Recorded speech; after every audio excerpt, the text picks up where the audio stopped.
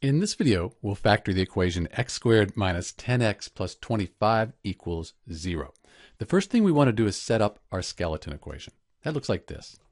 Next, we'll look at the signs. So if the center term is negative, we use this format here. We'll just have two negatives. Put a negative here and negative here. Now, once we do that, we're going to look at the factors for the last term. So we're going to look at this 25 here.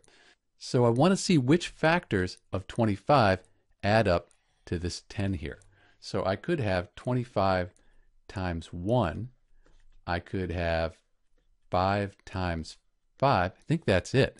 So 5 and 5, that's going to add up to 10. So if I put a 5 here and a 5 here, that should do it. Let's check our work. We can use the FOIL method to the first terms here. So x squared outside minus 5x plus inside, we've got another 5x and then the last term, minus 5 times minus 5, that's a positive 25 equals 0.